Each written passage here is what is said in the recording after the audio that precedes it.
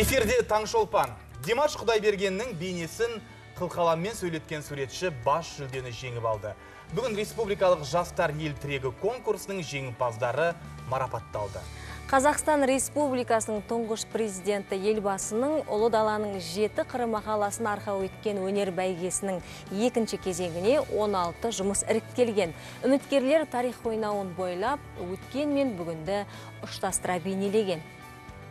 Бас жүлдені жеңіп алған бейбіт әсемқұл Димаштың келбетін графикалық жанрда салған. Қылғалам шебері жұмысының атында өзгеше қойған екен. ақ жауын деп аталады? Ол ақ жауын деп атқан. Ақ деген сөздің өзі бір тазалық димаштың иә жаңағы пейілі халықтың пейілі димашқа деген ақ.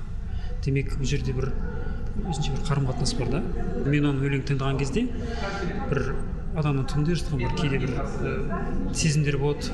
Әркім оята алмайтын. Димаш соны оята алды да. Дарынды жастарымыз көп болса да енді оны көпшілік тану білу керек. Оларды енді жақсы дәрежеге жеткізу үшін әрине осындай конкурстар өткен сайын шыңдалып нағыз шеберлігін көрсетуге үлкен сабақ болады деп ойлаймыз. Иә байқау мұнымен аяқталмайды. Қараша айында келесі кезең өтеді. Бұл жолы жасқа шектеу қойылмайды. Енді